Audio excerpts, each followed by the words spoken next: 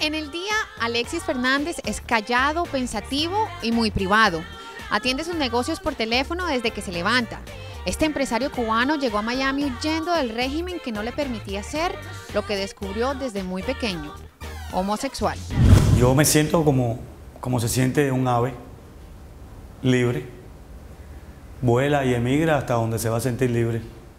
Entonces, ese es mi mejor regalo, mi libertad. Y por eso la vine a buscar aquí.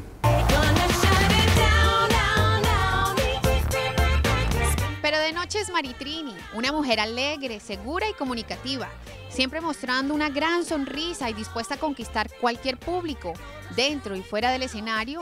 Con ella logra hacer una carrera del entretenimiento.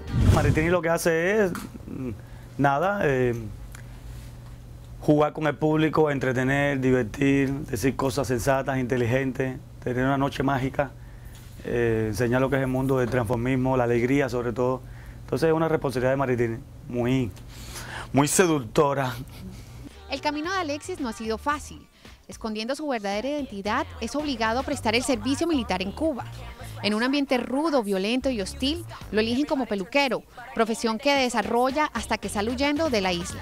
Me quedaban tres años en un campo de concentración y ya yo quería morirme. Quedaban dos plazas de barbero, la cual yo nunca había cortado el pelo ni a un perro.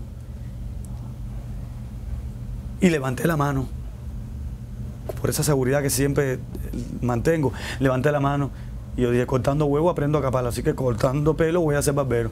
Nunca sintió la necesidad de vestirse de mujer, y aunque no tenía esa rudeza que caracteriza al hombre, crea en una noche de Halloween a Mari Trini. Ese primer Halloween fue en octubre del 99, con dos toallas que nos compramos en Keima, casi de peso y pico logramos convertir el primer personaje inconsciente en una noche de Halloween en, Miami Beach. En esa noche, acabado de llegar, sin familia, con problemas como que me, que me vi en la calle, ganamos en esa noche 3 mil dólares.